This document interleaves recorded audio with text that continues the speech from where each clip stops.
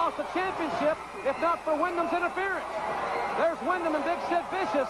The horsemen are attacking the Z-Man, and no doubt they're making an example of him for Sting and his friends. The horsemen will roar to the Omni this Sunday night, but they are trying to devastate the Z-Man here. The Z-Man was so close to winning the television championship. Double elbow by And Big Sid Vicious. I don't think we need to take a lot longer look at this. Vicious, this is just terrible.